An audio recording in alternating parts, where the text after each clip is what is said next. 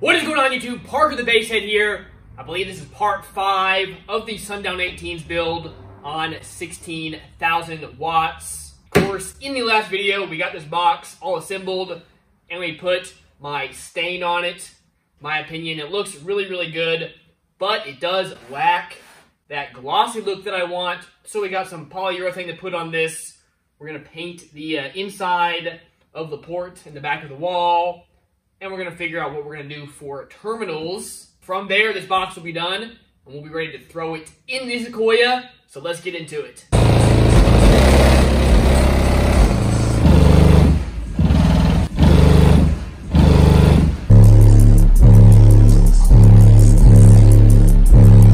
Real quick, guys, of course, at the end of this series, we are doing the next giveaway on the channel. Huge shout out to Big Jeff for supplying a lot of the stuff and of course Deaf Bonce for sponsoring today's video. Now of course we are giving away this Deaf Bonce Apocalypse AAK 2000.5 awesome 5 channel amp and a bunch of swag from Big Jeff Audio. So definitely stay tuned for that. To get into the giveaway guys, you of course got to subscribe to this channel and you gotta go like my Facebook page. Over on Facebook, I will be doing a post here when we get a little closer to the end of this giveaway, going over the exact details for the giveaway. So stay tuned for that, guys. And of course, once again, a huge shout out to Big Jeff Audio for helping out the channel, helping out with this build, and Deaf Bonce for sponsoring the video. All right, back to it, y'all. Y'all, the box looks really awesome. Very happy with how it came out. Again, it's the same way we had stained uh, my old box with the 815s. So first thing I'm going to do, I'm going to tape some of this up. I'm going to spray paint the inside of here with some uh, black paint just to make it look nice. We'll, of course, spray the back there. Once that's done and dried a little bit, we'll be able to pull off the tape, go ahead, put our polyurethane on this box just to give it that nice glossy look. So let's do that.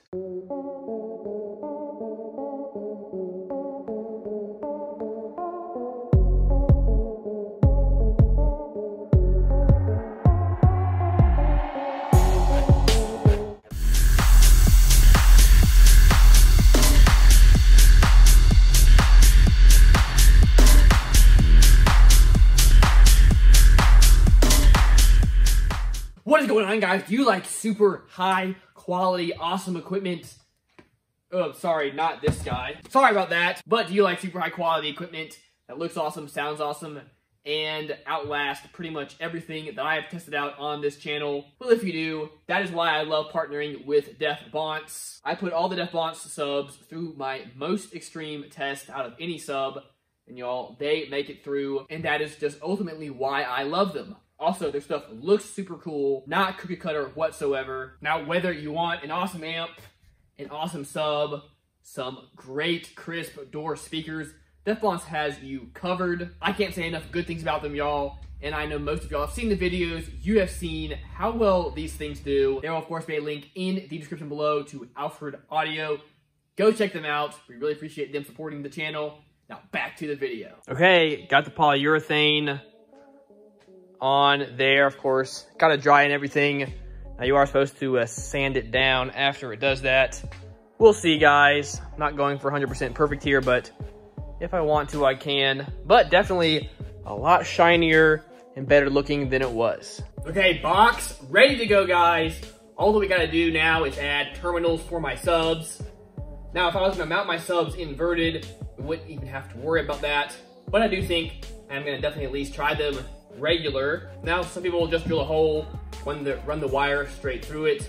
I've definitely done that in a crunch, but not what I want to do here. I do want to make this easy to pull in and out should I need to. So we are going to be making some uh, terminals for this.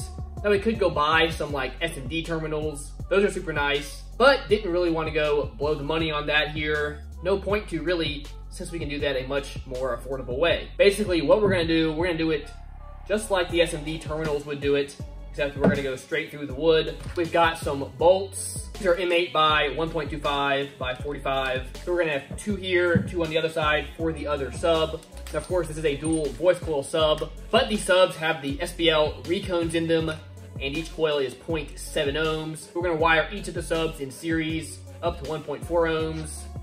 That, of course, what I'll read each of the terminals we'll then run them back down in parallel to about 0.7. So we're gonna need, you know, two terminals. We also have nuts and washers, so we're ready to go.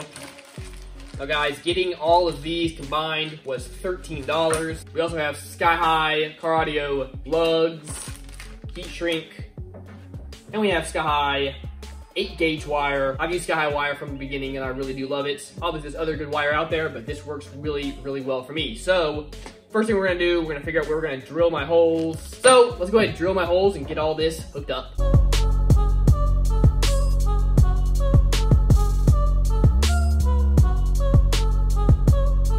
Okay, we have our wire wired up and ready to go. So what we're gonna do, we're gonna stick our lugs through here on the back side, I'm gonna put a washer. We're then gonna stick them through the holes. We then take two more washers, slide them over. We then take a nut. We're gonna tighten that down over here and over here. So we're gonna get these nice and tight. We'll then be able to run the wire from the amp with a lug right over this, put another bolt over it, and that'll get the job done.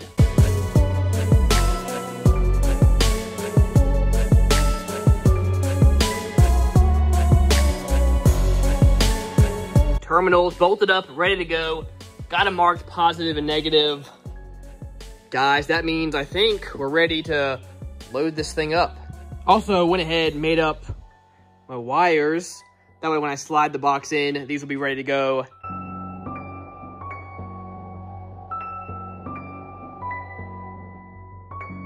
So stoked to see this thing in here. Like I said, just fits perfectly. Love the gloss on this thing. Definitely a good looking box. I'm very happy with it.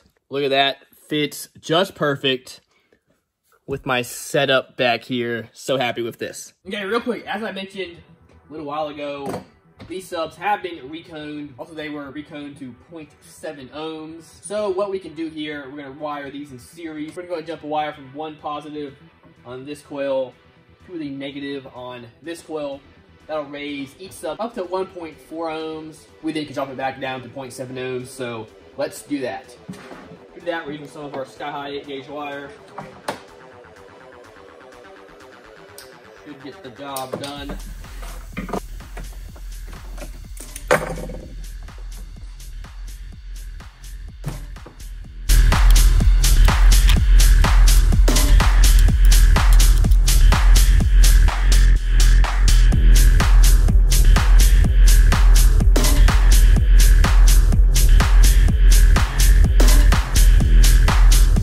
Subs are in. Now four screwing them down, I'm gonna hook them up real quick, turn them on, low power, just to make sure everything works and everything is in sync. No point throwing the screws in here and find out you did something wrong.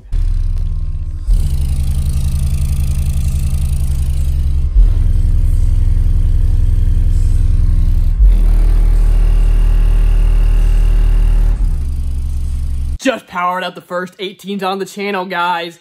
This is a super exciting moment. As you can imagine, uh, barely any power there. And of course, not even screwed down yet. And it already kind of sounded good. So let's throw some screws in here and then we can test it out.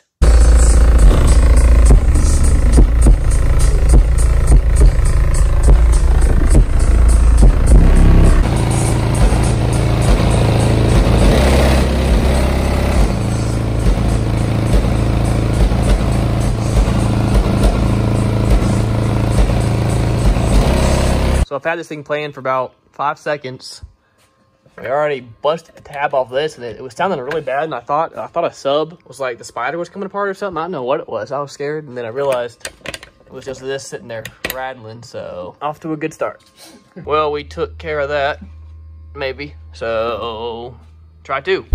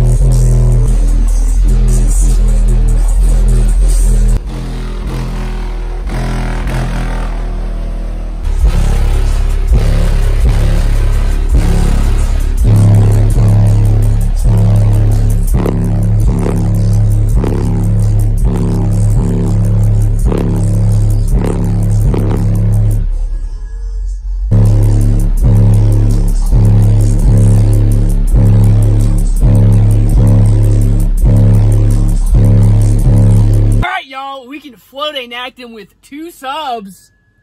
This is so exciting. This thing feels pretty close to when I had my 612s in here.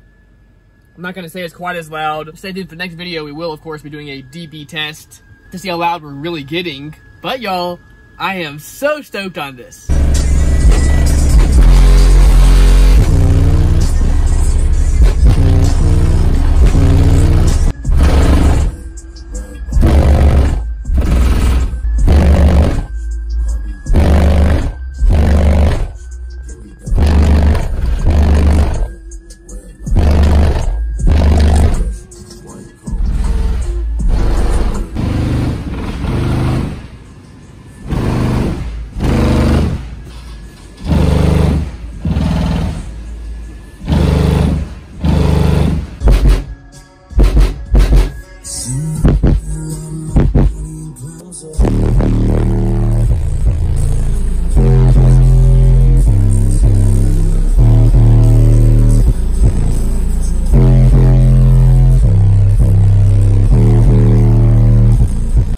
Y'all. I'm officially sold on 18s.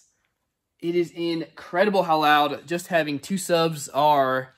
Y'all, this is blowing me away. Again, I remember when I had my the first 612 build that I did, I could float and active and stuff, which I thought was pretty cool. And honestly, the box was about this size. Of course, I'd have six subs, one more expensive, but just when you have more subs, two little more complicated, wiring everything up. Not bad, but just more wires and stuff you got to deal with. Whereas over here, y'all, having two subs, this is nuts. All right, y'all. Next part is going to be the final part of this build series. First off, I'm getting some winding through these.